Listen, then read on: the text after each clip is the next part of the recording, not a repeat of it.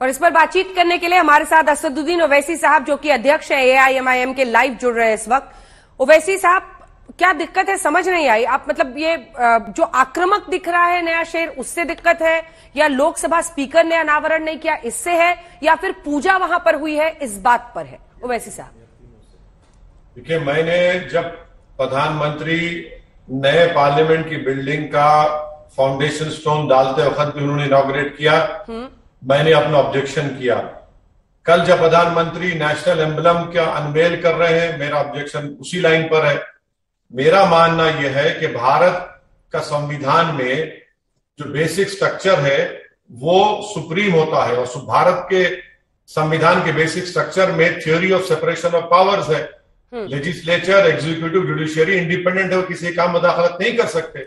Parliament hmm. में सबसे supreme parliament का लोकसभा का स्पीकर है प्रधानमंत्री नहीं है प्रधानमंत्री को यह जेब नहीं देता कि वो theory of separation of powers को कमज़ोर कर दें या उसके बरखिलाफ जाकर स्पीकर को अपने पीछे बिठाएँ और उस नेशनल एम्बलम को आप अनवेल करें हम्म। ये प्रधानमंत्री गलत काम किया ये कॉन्स्टिट्यूशन नॉर्म्स के खिलाफ है हम्म। हाँ बहुत से जानकार लोग कह रहे हैं कि वो एम्बलम में जो लाइन है उसका ओरिजिनल फोटोग्राफ से मुख्तलिफ़ है मगर मेरा बुनियादी सवाल यह है हम्म। कि एग्जीक्यूटिव लेजिस्लेचर के काम में मदाखलत नहीं कर सकता। हम्म। पार्लियामेंट इंडिपेंडेंट है जुडिशियरी इंडिपेंडेंट है एग्जीक्यूटिव इंडिपेंडेंट है। हम्म। प्रधानमंत्री को क्या ज़रूरत? अच्छा इतना टाइम प्रधानमंत्री के पास कैसे है मुझे समझ में नहीं आ रहा। अभी पार्लियामेंट की बिल्डिंग बनी नहीं। एक एम्बलम के इनोग्रेशन में प्रधानमंत्री पहुँच जाते हैं। अरे इतना टाइम क्यों है प्रधानमंत्री आपके पास? इसमें दिक्कत क्या है सर? इसमें दिक्कत क्या है? इतनी नई संसद भवन का निर्माण हो रहा है उस पर एक भव्य मतलब बीजेपी का यह कहना है कि आप लोग विघ्नवीर हो गए हैं। हिंदू धर्म में कहा जाता है कि जब पूजा पाठ हो कोई शुभ काम हो नई शुरुआत हो तो उसमें विघ्न डालने के लिए कुछ लोग आ जाते हैं। विघ्नवीर हो गया है इस देश का विपक्ष। क्या आपको गौरव नहीं हो रहा कि इतना बड़ा अशोक चिन्ह वहाँ पर लगा है? नहीं मुझे गौरव होता जब लोकसभा के स्पीकर उसका अनवेल करते प्रधानमंत्री उनके पीछे खड़े होते। प्रधानमंत्री को समझना चाहिए कि वो प्रधानमंत्री हैं। ये कोई देश नॉर्थ कोरिया या इराक नहीं है कि डिक्टेटरशिप चलेगी। पार्लियामेंट इंडिपेंडेंट है और रहेगा इंशाला क्योंकि संविधान कहता है theory of separation of powers के तहत प्रधानमंत्री को काम करना पड़ेगा।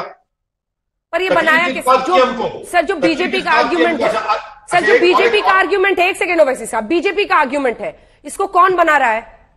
Ministry of urban development Hardeep Puri वहाँ पर मौजूद है। मुखिया कौन? काउंसिल ऑफ़ मिनिस्टर्स का प्रधानमंत्री नरेंद्र मोदी। उनके वहाँ पर रहने से क्या प्रॉब्लम है? अगर वो पूजा कर रहे हैं, अगर वही अनावरण कर रहे हैं, क्या दिक्कत है? मैडम, एक बात प्लीज़ समझिए आप। बना तो रहा है अर्बन डेवलपमेंट मगर कहाँ पर बना रहे हैं आप? पार्लियामेंट के अंदर बना रहे हैं।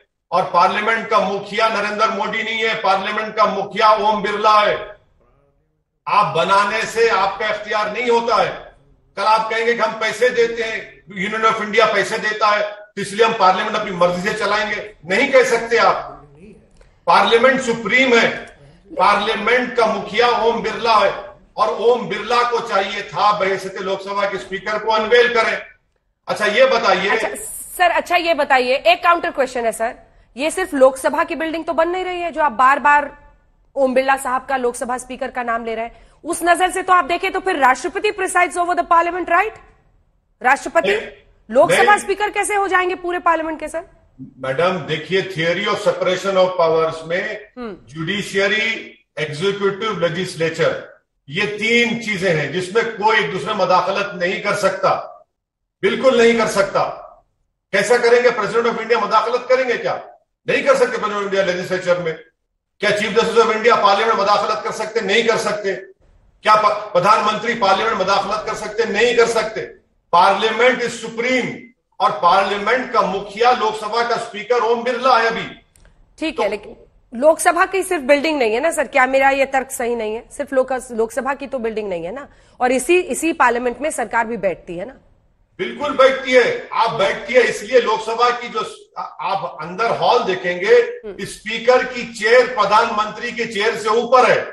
अब मुझे नहीं मालूम कि प्रधानमंत्री को बात हजम होती है नहीं होती है। मगर लोकसभा की स्पीकर की चेयर सबसे ऊपर होती है और प्रधानमंत्री की चेयर नीचे होती है।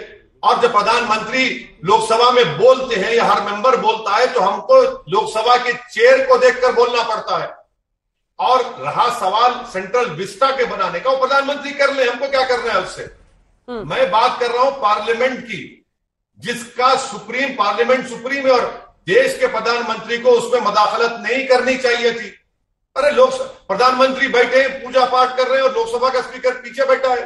प्रधानमंत्री है है क्या? ताली मार रहे हैं। पूजा हुई बात है बताइए। पूजा हुई है इस तो बात से की बेइज्जती है मैं कहता हूँ ये तो। पूजा हुई है क्या इस बात से भी प्रॉब्लम है आपको? नहीं मेरा मानना यह है देखिए अगर आप हिस्ट्री के मैं भी हिस्ट्री का स्टूडेंट हूँ ये जो एम्बलम हमको मिला कहाँ से मिला? ये अशोका द ग्रेट के जमाने का है और वहाँ पर उसी मुकाम पर गौतम बुद्धा ने अपना सबसे पहला सरमन खुतबा दिया था। चलिए प्रधानमंत्री ने एक हिंदू समुदाय के एक सेक्ट के तहत पूजा की। चलिए आप आपने कर दी। अरे भाई कोई बौद्ध मज़हब के रिलीजियस स्कॉलर को ही बुला लेते आप वो एम्बलम कहाँ से मिला? उस जगह से मिला जहाँ पर गौतम बुद्धा ने अपने पहला सरमन खुदवा दिया था। अपनी बात कही थी। और एक बात समझिए मैडम वो जो वो जो एम्बलम है उसके नीचे चार जानवर है। हाथी है घोड़ा है बबर शेर है हाँ घोड़ा एलिफेंट बुल है। वो क्या क्या बताता है? प्रधानमंत्री उसको नहीं जानते क्या? वो वो बताता है इस बात को कि इक्वालिटी जस्टिस करेज कॉन्फिडेंस ये तमाम चीज़ें तो संविधान के प्रियम्बल में है ना मैडम? हम सब भूल जाए क्या उनको? लेकिन जिस सारनाथ की आप बात करें देखिए सारनाथ का ही ये बीजेपी का कहना है। अब ओवैसी साहब के दोनों तरफ़ जो हमने जैकेट बनाया वो एक बार दिखा दीजिए। क्योंकि अब विपक्ष का ये कहना है कि जो शेर है उसको बदल दिया गया है। अब इसका क्या लॉजिक हो सकता है सर शेर तो शेर की तरह दिखेगा ना। अब उसके दांत गिनेंगे क्या हम? वो बकरी दिखे क्या? क्या दिखे? एक बार वैसी साहब को दिखाई सर दोनों हम आपको दिखा रहे हैं। जो इमेज का दावा किया जा रहा है और जो जो आमतौर पर हम सरकारी लेटर हेड्स पर देखते हैं जो प्रमाणित चिन्ह है। और जब कलाकार बना रहा है बीजेपी का कहना है कि सारनाथ में जो म्यूज़ियम में रखा हुआ है उसी के आधार पर हमने ये बनाया है। अब इसमें बताइए। थोड़ी देर के लिए चलिए उस, उस वो बात सही होगी। मैं प्रधानमंत्री से पूछना चाह रहा हूँ कि आपके दांत बड़े हैं या पार्लियामेंट के दांत बड़ा है? पार्लियामेंट के दांत बड़े हैं। आप दांत नहीं दिखा सकते पार्लियामेंट को वैसे प्रधानमंत्री। आप पैसा दे रहे हैं तो संविधान के तहत आप देते हैं आपको देना चाहिए पार्लियामेंट चलाने के लिए। पार्लियामेंट का सेक्रेटेरिएट अलग है पार्लियामेंट के एम्प्लॉयज़ अलग है। ये हुकूम ये सरकार बनने के बाद उन्होंने तो सेक्रेटरी जनरल भी पार्लियामेंट के एम्प्लॉय स्कूल से नहीं बन रहा बाहर से लोग आ रहे हैं। ठीक है स्पीकर साहब तय करते होंगे। मगर पार्लियामेंट के दांत बड़े हैं याद रखिए। हम्म, लेकिन फिर यहीं पर उस मुखालफत पर सवाल खड़े हो जाते हैं ना सर। तो आप दिखाने का काम कर रहे हैं। ठीक है तो आप आप ये कह दीजिए कि ये ये इशू जो उठाया जा रहा है टीएमसी की तरफ़ से और कुछ कांग्रेस के नेताओं की तरफ़ से वो गलत है? कहिए। अरे उनसे पूछिए ना मुझे क्या करना है? वो तो मुझे गाली तो, देते हैं। सर मुखालिफत मैडम देखिए जो मुझे गाली देते हैं मैं उनके बारे में क्यों कहूँ? मैं संविधान के बेसिक स्ट्रक्चर की बात कर रहा हूँ theory of separation of powers की बात कर रहा हूँ जो किशनंदा भारती केस में सुप्रीम कोर्ट ने उसका अपील किया है। प्रधानमंत्री theory of separation of powers की मुखालिफत दूसरी मरतबा कर रहे हैं। इतना टाइम कैसे प्रधानमंत्री के समझ में नहीं आ रहा है? अभी पार्लियामेंट की बिल्डिंग बनी भी नहीं। आप चले जाते हैं अनवेल करने तो सर पीएम का शेड्यूल आप थोड़ा ना हैदराबाद से तय करेंगे सर। ये कैसी बात मैडम मैं तो मुझे नहीं मालूम प्रधानमंत्री का शेड्यूल क्या है मगर क्या प्रधानमंत्री को नहीं मालूम कि मई के महीने में एक करोड़ तीस लाख नौकरियाँ चले गई? वो शेड्यूल में नहीं आता प्रधानमंत्री के। आठ परसेंट एम्प्लॉयमेंट अनएम्प्लॉयमेंट हो चुका है भारत का। वो शेड्यूल में नहीं आता प्रधानमंत्री के। नौजवानों का, युवाओं का मुकद्दर बेरोजगारी बन चुका है, बर्बाद हो रहे हैं। वो शेड्यूल में नहीं आता प्रधानमंत्री के।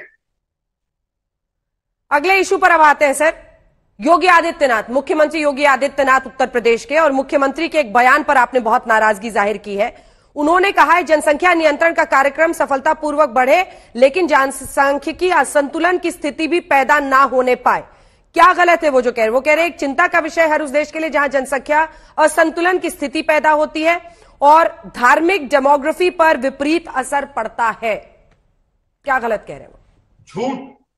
मुख्यमंत्री एक बड़े प्रदेश के होकर झूठ बोलते हैं और इतने अजीम अहदे पर बैठकर आप, आपको उनको जेबा नहीं देता किस तरह झूठ बोले क्या भारत का मुसलमान मूल निवासी नहीं है। बताइए आप मुझे, बीस करोड़ मुसलमान इस देश के मूल निवासी नहीं है। और ज़िम्मेदारी के साथ कह रहा हूँ इस देश में अगर कोई मूल निवासी है तो आदिवासी और द्रविडियन है। ना योगी आदित्यनाथ है ना सऊद्दीन ओवैसी है फिर। मैं तो ये दूसरी झूठ। उत्तर प्रदेश में जो टीएफआर रेट है क्या वो 2.7 से 2.4 नहीं हुआ? क्या ये भी झूठ है। क्या भारत में मुसलमानों का टीएफआर रेट जो अ, 2.6 था 2.3 हुआ नहीं हुआ? और अगर मैं झूठ बोल रहा हूँ तो आपके अंग्रेज़ी चैनल पर आप ही की कलीग मिलन शर्मा ने रिपोर्ट फ़ाइल की देख लीजिए आप। क्या ये झूठ है कि भारत के मुसलमान तीसरे नंबर पर है सबसे ज़्यादा कॉन्ट्रासेप्टिव यूज़ करते हैं जो 2015 में 37 परसेंट था वो 47.4 हो गए। हम्म, बताओ फिर कौन जिम्मेदार है? बगैर अच्छा मैडम और एक बात सुन लीजिए योगी आदित्यनाथ का झूठ। 2 अप्रैल 2022 को भारत की सरकार के हेल्थ मिनिस्टर ने राज्यसभा में स्टेटमेंट दिया। प्राइवेट मेंबर्स बिल जो बीजेपी के एमपी लाए थे कहा था कि जबरन कानून की भारत को ज़रूरत नहीं है। क्या वो भी झूठ है? दो दिसंबर 2020 सुप्रीम कोर्ट में एफिडेविट दायर किया मोदी सरकार ने कि देश को टू चाइल्ड नाम के कानून की ज़रूरत नहीं है। क्या वो भी झूठ है? अरे जो भारत में डेमोग्राफिक डिविडेंड है। इनका जो आर्ग्यूमेंट है सर इनका जो आर्ग्यूमेंट है वो मैं आपको समझाती हूँ। जब देश की आज़ादी हुई तो 30 करोड़ हिंदू थे साढ़े तीन करोड़ मुस्लिम थे। जो अनुपात उस वक्त था वो अनुपात अब बदल चुका है। और जब आप Hindu population versus Muslim population आज देखते हैं तो वो अनुपात बदल चुका है। वहाँ पर उनकी संख्या बड़ी है। इस पर आपका क्या जवाब है? जब वो धार्मिक असंतुलन की बात करते हैं तब वो यही मैडम झूठ कह रहे हैं योगी आदित्यनाथ मैं आपको बता रहा हूँ कि मुस्लिम फर्टिलिटी रेट 20 साल में सबसे ज़्यादा कम हुआ है। क्या ये भी झूठ है? बता दो योगी आदित्यनाथ अरे उत्तर प्रदेश में मैडम छह परसेंट से 7.3 परसेंट सिवियरली वेस्टेड बच्चे हैं। आप मुझे बता रहे हो ओवैसी साहब ओवैसी साहब आप एक सेकंड सर सब ये छोड़ दीजिए ये तर्क ये दलील ये बहस। मुझे ये बताइए क्या ये मुस्लिम समुदाय किसी भी समुदाय हिंदू समुदाय में भी ये कंसर्न नहीं है पॉपुलेशन ग्रोथ क्या इंडिया के लिए कंसर्न नहीं है? एक करोड़ पीछे रह गए हम चीन से।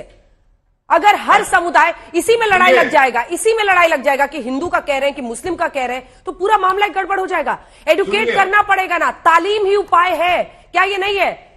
आ- अच्छा सुनिए आप आप आपके सवाल का दो जवाब दो जवाब। पहला जवाब पूरे विश्व में भारत के पास जो डेमोग्राफिक डिविडेंड है पचास फ़ीसद आबादी पच्चीस साल की है।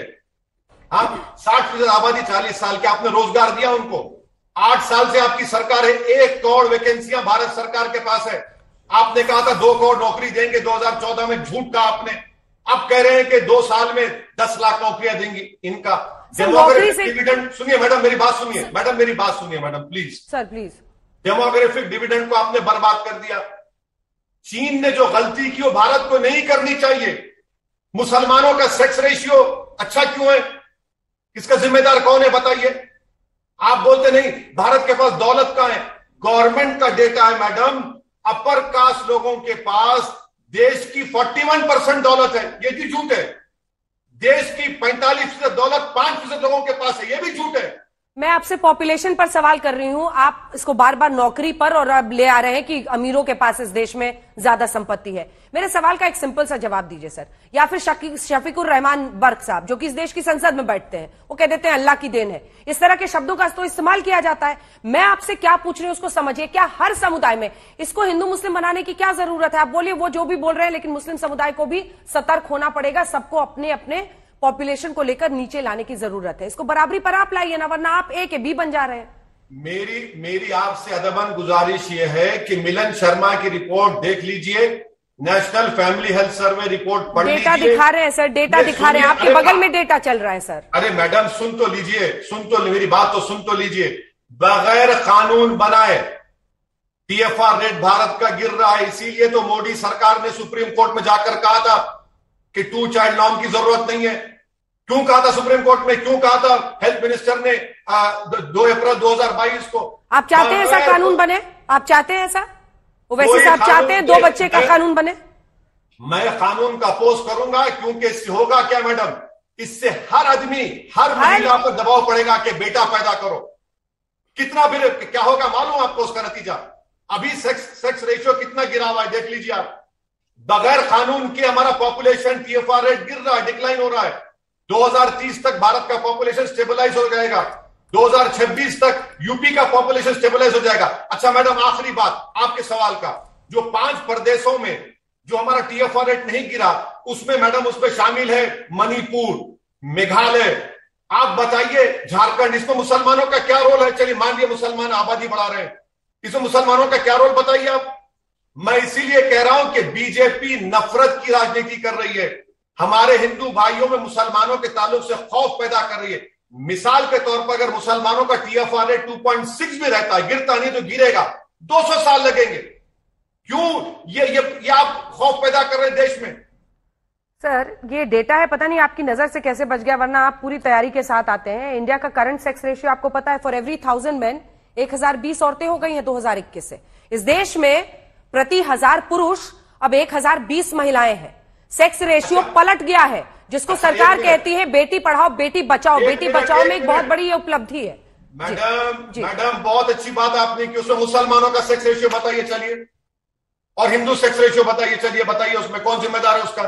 सर ऐसा हिंदू और मुस्लिम बताइए सर मैं देख नहीं पढ़ना चाह रही हैं आपको नहीं बताया गया है। आपके एडिटोरियल टीम को फायर करिए आप। नहीं, नहीं। उनसे कहिए नहीं नहीं नहीं आप आप मुझे बताइए ना ये मिलता कहाँ पे है? कि हिंदूज का कहाँ पे है? कितना है सेक्स डेटा है मैडम पढ़ने की ज़रूरत है। अल्लाह ने दिमाग दिया पर आप- अभी तो आप अभी तो आपने मिसलीड किया ना सर। अल्लाह ने दिमाग ज़रूर दिया है सबको दिया है लेकिन अभी आपने मिसलीड किया सर। अब तो अब तो इंडिया का सेक्स रेशियो ठीक है। सेक्स रेशियो ठीक है। आप आप हज़ार हज़ार मर्द पे बात करें ना मुसलमानों का सेक्स रेशियो 936 से 951 इंप्रूव हुआ है। कौन करा ये इंप्रूव मैं आपको बता रहा हूँ गवर्नमेंट का डेटा ये हमको कानून की ज़रूरत नहीं है। आप सही कह रहे हैं तालीम अच्छा अगर सरकार को आप आ, सरकार को आप ललकार रहे हैं आखिरी सवाल है सर सरकार को ललकार रहे हैं कि दो बच्चे वाला कानून क्यों नहीं लेके आते हैं? वो अगर लेकर आते हैं क्या सर भागिएगा नहीं मेरे सवाल से? क्या ओवैसी से आप सपोर्ट करेंगे? मैं सुनिए आप आप मुझे मेरी बात मुकम्मल करने की इजाज़त दिए तो मैं कहूँगा कि कानून की ज़रूरत नहीं है खुद सरकार ने कह दिया सुप्रीम कोर्ट को। खुद सरकार ने 2 अप्रैल राज्यसभा में हेल्थ मिनिस्टर ने कहा अरे आप लिटरेसी इंप्रूव करिए एम्प्लॉयमेंट दीजिए इनकम बढ़ाइए एक्सेस टू हेल्थ क्रिएट करिए। आठ साल में आपने क्या किया? आठ साल में सिर्फ़ आपने मुसलमानों को दुश्मन बनाकर देश में पेश किया। वो आपका सबसे बड़ा कारनामा है बीजेपी सरकार का। असदुद्दीन ओवैसी साहब अध्यक्ष एआईएमआईएम पे बहुत बहुत धन्यवाद आपका हर सवाल का जवाब देने के लिए। धन्यवाद सर।